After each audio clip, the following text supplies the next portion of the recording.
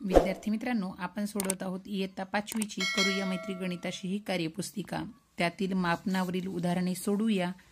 या घटकांतर्गत आज आपण व्हिडिओ क्रमांक सात पाहणार आहोत. त्यामध्ये पान क्रमांक चौऱ्याहत्तर व पंच्याहत्तर आज आपण अभ्यासणार आहोत. या ठिकाणी मग हा आपला घटक संपणार आहे. यापूर्वीचे व्हिडिओ जर तुम्ही पाहिले नसतील तर या व्हिडिओच्या डिस्क्रिप्शन बॉक्समध्ये त्यांची लिंक पाठवलेली आहे. त्या ठिकाणी जाऊन तुम्ही ते व्हिडिओ पाहू शकता. बघा या ठिकाणी दिलेलं पहिलं उदाहरण आहे. आईने ज्वेलरी दुकानदारास तीस ग्रॅम सोने देऊन दोन ग्रॅम पाचशे मिलीग्रॅमच्या अंगठ्या बनविण्यास सांगितल्या. तर किती अंगठ्या तयार होतील? या ठिकाणी बघा एकूण दिलेलं सोनं आहे तीस ग्रॅम. तीस ग्रॅम सोन्यांच्या दोन ग्रॅम पाचशे मिलीग्रॅमच्या अंगठ्या बनवायच्या आहेत. तर तीस ग्रॅमच्या एकूण किती अंगठ्या तयार होतील हा प्रश्न आपल्याला या ठिकाणी विचारलेला आहे. मग आपल्याला या ठिकाणी बघा. दिलेल्या एककाचं रूपांतर मिलीग्रॅममध्ये करून घ्यावं लागणार आहे. आपल्याला माहिती आहे एक ग्रॅम बरोबर आहे एक हजार मिलीग्रॅम.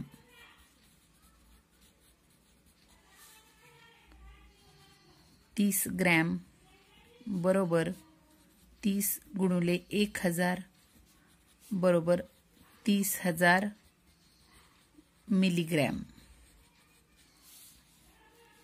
या दोन दोन ग्रॅम पाचशे ग्रॅमचं देखील आपण मिलीग्रॅममध्ये रूपांतर करूया. दोन ग्रॅम बरोबर असणार आहे दोन गुणुले एक हजार म्हणजेच दोन हजार ग्रॅम. दोन ग्रॅम पाचशे मिलीग्रॅम.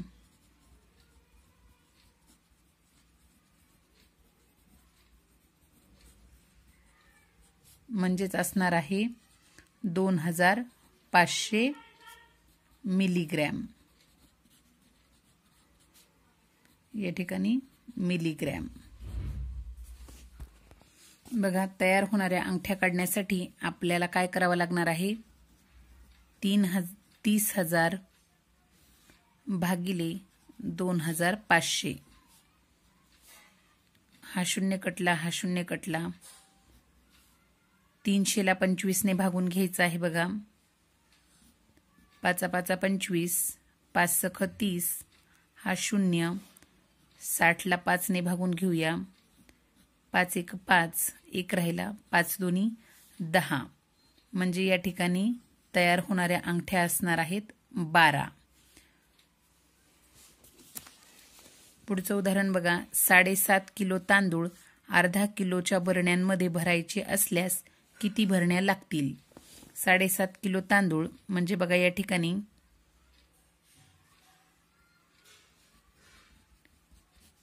साडेसात किलो म्हणजेच आपण काय म्हणणार आहोत? सात पॉईंट पाच किलो. अर्धा किलो म्हणजेच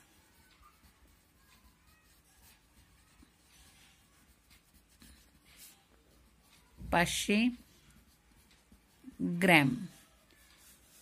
मग आपल्याला माहिती आहे एक किलोग्रॅम बरोबर आहे एक हजार ग्रॅम. मग या साडेसात किलोचं आपण ग्रॅममध्ये रूपांतर करून घेऊया. सात पॉईंट पाच किलोग्रॅम बरोबर सात गुणुले एक हजार. हे पॉईंट पाच म्हणजेच या ठिकाणी पाचशे ग्रॅम आहे बघा. बरोबर आहे सात हजार अधिक पाचशे ग्रॅम म्हणजेच सात हजार पाचशे ग्रॅम. मग आपल्याला लागणाऱ्या भरण्या काढण्यासाठी काय करावं लागणार आहे? सात हजार पाचशे भागिले पाचशे. कारण सात हजार पाचशे किलोग्रॅममध्ये पाचशे ग्रॅम जर भरलं तर किती बरण्या लागणार आहेत हे काढण्यासाठी सात हजार पाचशे भागिले पाचशे हा शून्य कटला हा शून्य कटला हा शून्य कटला हा शून्य कटला. पाच एक पाच खाली राहिले दोन पाचा पाचा पंचवीस. म्हणजे या ठिकाणी उत्तर येणार आहे पंधरा. एकूण पंधरा भरण्या लागतील. म्हणजेच काय? तर पाचशे पाचशे ग्रॅमच्या जर आपण पंधरा भरण्या लागल्या भरल्या तर त्याचं एकूण माप किती होणार आहे? साडेसात किलो. पुढचं उदाहरण बघा. यानंतरचं उदाहरण आहे बघा. थंड पाणी विक्री करणाऱ्या दुकानदाराकडे सातशे साठ लिटर पाणी आहे. हे पाणी वीस लिटरच्या जारमध्ये भरले तर किती जार लागतील? लागणारे जार काढण्यासाठी बघा आपल्याला सातशे साठला वीसने भागून घ्यायचे आहे. सातशे साठ. वीस. वीसने सातला भागलं तर बघा भाग जात नाही भाग जातो शून्य. शहात्तरला भाग देऊया. वीसचा पाडा असा घ्यायचा आहे की तो शहात्तरच्या पुढं नाही गेला पाहिजे. किंवा भागाकार केल्यानंतर येणारी संख्या ही वी शहात्तरच्या पुढं नाही गेली पाहिजे. वीस एक वीस वीस दोन्ही चाळीस वीस त्रिक साठ वीस चोक ऐंशी. जर आपण वीस चोक ऐंशी जर घेतले तर ऐंशी ही शहात्तरपेक्षा मोठी आहे. म्हणून वीस त्रिक साठ सहामधून शून्य गेले सहा सातमधून सहा गेले एक राहिला. वीसपेक्षा सोळा लहान आहेत वरचा शून्य खाली घेऊया. वीस सख विसाचे विसा चाळाचे विसाठ बघा या ठिकाणी विसाठ साठीचे म्हणजे एकशे साठ. शून्यामधून शून्य गेले शून्य सहामधून सहा गेले शून्य एकमधून एक गेला शून्य. म्हणजे या ठिकाणी सातशे साठ लिटर पाण्याचे वीस लिटर प्रमाणे किती जार भरणार आहेत? अडोतीस जार या ठिकाणी भरणार आहेत. याऐवजी तुम्ही अशा पद्धतीने सातशे साठ भागिले वीस अशा पद्धतीने देखील भागाकार करू शकता. हा शून्य कटला हा शून्य कटला. बेत्रिक सहा या ठिकाणी एक राहिला. ब्याठी सोळा. अशा पद्धतीनं देखील आपलं उत्तर अडोतीसच येणार आहे. पुढचं उदाहरण बघा. एका ताक विक्री केंद्राने प्रत्येकी पाव लिटर प्रमाणे पावणे दोन लिटर ताक वाटले तर किती जणांना ताक मिळेल? मग यासाठी तुम्हाला पाव लिटर म्हणजे किती हे माहीत असायला पाहिजे बघा. पाव लिटर बरोबर दोनशे पन्नास यालाच आपण मिली लिटर असं म्हणूया.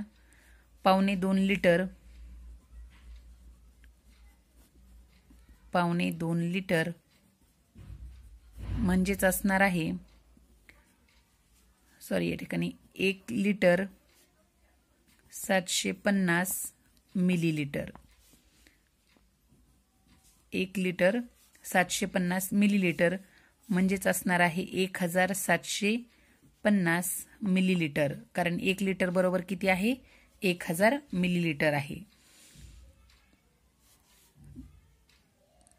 किती जणांना ताक वाटलेला आहे हे काढण्यासाठी आपल्याला बघा काय करावं लागणार आहे. एक हजार सातशे पन्नास भागिले दोनशे पन्नास. हा शून्य कटला हा शून्य कटला. पंचवीसने एकशे पंच्याहत्तरला भागायचा आहे. पंचवीसचा जर पाडा येत नसेल तर पाचने भागून घेऊया. बघा डायरेक्ट जर पंचवीसचा भाग दिला तर पंचवीस सत्त पावणे दोनशे किंवा पाचने भागूया पाचा पाचा पंचवीस. पाच त्रिक पंधरा पाचा पाचा पंचवीस. या ठिकाणी पाच सत्त पस्तीस. म्हणजे या ठिकाणी किती जणांना ताक मिळणार आहे? सात जणांना. पुढचं उदाहरण आहे बघा तीस लिटर सहाशे मिली उसाचा रस चार मुलांना सारखा वाटला तर एका मुलाला किती मिली उसाचा रस मिळेल? या ठिकाणी दिलेली माहिती आहे लिटर आणि मिलीलिटरमध्ये आणि विचारलेली माहिती आहे मिलीलिटरमध्ये. या ठिकाणी आपण लिटरचं मिलीलिटरमध्ये करून घेऊया. एक लिटर बरोबर एक हजार मिलीलिटर. तीन लिटर बरोबर आहे तीन गुणुले एक हजार बरोबर तीन हजार मिलीलिटर.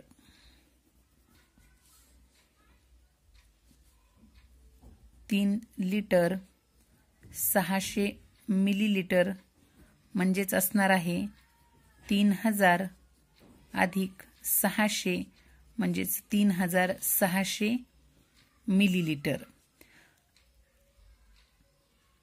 आपल्याला काय सांगितलेलं आहे? हा रस तीन हजार सहाशे मिली हा रस जर आपण चार मुलांना समान वाटला तर प्रत्येक मुलाला किती येणार आहे? म्हणजेच या ठिकाणी आपल्याला तीन हजार सहाशे भागिले चार करावं लागणार आहे. चारने भाग देऊन घेऊया. चार नवे छत्तीस. हे दोन शून्य जशाला तशी. म्हणजे या ठिकाणी बघा प्रत्येक मुलाला किती रस मिळणार आहे? नऊशे मिली रस मिळणार आहे. शेवटचं उदाहरण बघा. बगीच्याच्या काम केल्या बगीच्यात काम केल्याबद्दल एकूण एक हजार रुपये मजुरी दिली गेली. ही मजुरी चार व्यक्तींमध्ये समान वाटप करायची आहे तर प्रत्येक व्यक्तीला किती रुपये मिळतील? या ठिकाणी आपल्याला काय करावं लागणार आहे? एक हजार भागिले चार हा भागाकार करून घ्यावा लागणार आहे. एक हजार भागिले चार. या ठिकाणी बघा चारने एकला भागता येत नाही. भाग शून्याचा देऊन घेऊया. चारने दहाला भागायचं आहे. चार दोन्ही आठ. दहामधून आठ गेले. शिल्लक राहिले दोन.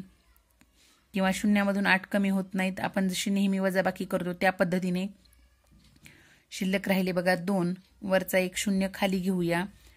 चारा पंचे वीस. हा शून्य खाली येऊन हा शून्य इथे देऊया. म्हणजे या ठिकाणी प्रत्येक मुलाला प्रत्येक व्यक्तीला किती रुपये मिळणार आहेत? दोनशे पन्नास रुपये. प्रत्येक व्यक्तीला दोनशे पन्नास रुपये मिळतील. याच्यानंतरच पान क्रमांक पंच्याहत्तरवर बघा. रीनाचे घर किती अंतरावर आहे? या ठिकाणी बघा जुना किल्ला मीनाचे घर आणि रीनाचे घर. जुना किल्ला आपल्याला खाली तक्त्यामध्ये अंतर सांगितलेलं आहे बघा. जुना किल्ला ते मीनाचे घर. जुना किल्ला ते मीनाचे घर या दोघांमधील अंतर किती आहे? दोन किलोमीटर पाचशे मीटर. जुना किल्ला ते रीनाचे घर. म्हणजे हा जुना किल्ला ते रीनाचे घर. अंतर किती आहे? एकूण अंतर आहे तीन किलोमीटर सातशे पंचवीस मीटर. तर रीनाचे घर मीनाच्या घरापासून या रीनाचे घर मीनाच्या घरापासून किती अंतरावर आहे? या दोघांच्या घरातील अंतर काढण्यासाठी आपल्याला एकूण अंतरातून मीना जुन्या किल्ल्यापासून मीनाचे घर घराचं अंतर काय करून घ्यावं लागणार आहे? वजा करून घ्यावं लागणार आहे. या ठिकाणी बाजूला बघा तुम्हाला समजण्यासाठी मी या ठिकाणी करते. तीन किलोमीटर सातशे पंचवीस मीटर या एकूण अंतरातून दोन किलोमीटर पाचशे मीटर वजा करून घेऊया. पाचमधून शून्य गेले पाच दोनमधून शून्य गेले दोन सातमधून पाच गेले दोन तीनमधून एक गेला तीनमधून दोन गेले या ठिकाणी राहिला एक. म्हणजे या ठिकाणी मीनापासून रीनाच्या घराचे अंतर किती असणार आहे? एक किलोमीटर दोनशे पंचवीस मीटर. चौकटीत योग्य संख्या लिही. एक हजार मीटर बरोबर एक किलोमीटर. एक हजार मिलीलिटर बरोबर एक लिटर. एक हजार ग्रॅम बरोबर एक किलोग्रॅम. या ठिकाणी बघा आपल्याला मापनासाठीची साधनं या ठिकाणी दिलेली आहेत. अशा पद्धतीने हा घटक मापनावरील उदाहरणे सोडूया. हा या ठिकाणी संपलेला आहे.